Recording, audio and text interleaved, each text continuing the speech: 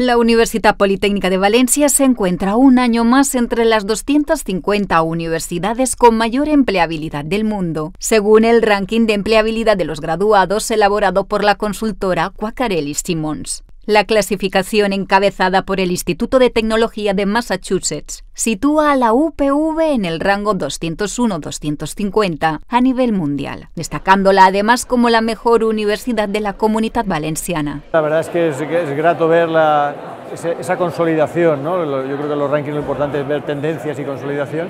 En este QS sobre empleabilidad estar entre las 250 primeras eh, del mundo pues es un resultado eh, muy bueno. La Universidad Politécnica de Valencia sobresale en el apartado de acuerdos de colaboración suscritos con empresas, ubicándose como la tercera mejor universidad de España y ocupando la undécima posición a nivel europeo y el número 33 a nivel mundial. Eso indica una muestra muy importante del dinamismo de la institución y su vocación de colaboración con el entorno y de que los estudiantes se aprovechen de esa buena colaboración. Este ranking de empleabilidad tiene en cuenta cinco indicadores. La reputación de los egresados entre los empleadores, el éxito en la carrera profesional de los graduados, los acuerdos de colaboración entre universidad y empresa, la tasa de inserción laboral de los graduados y el número de empleadores presentes en el campus que ofrecen prácticas y un primer empleo al alumnado.